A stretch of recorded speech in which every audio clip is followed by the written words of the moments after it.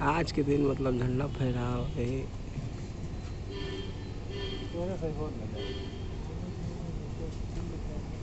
बड़का झंडा मस्त दिख रहा है नहीं?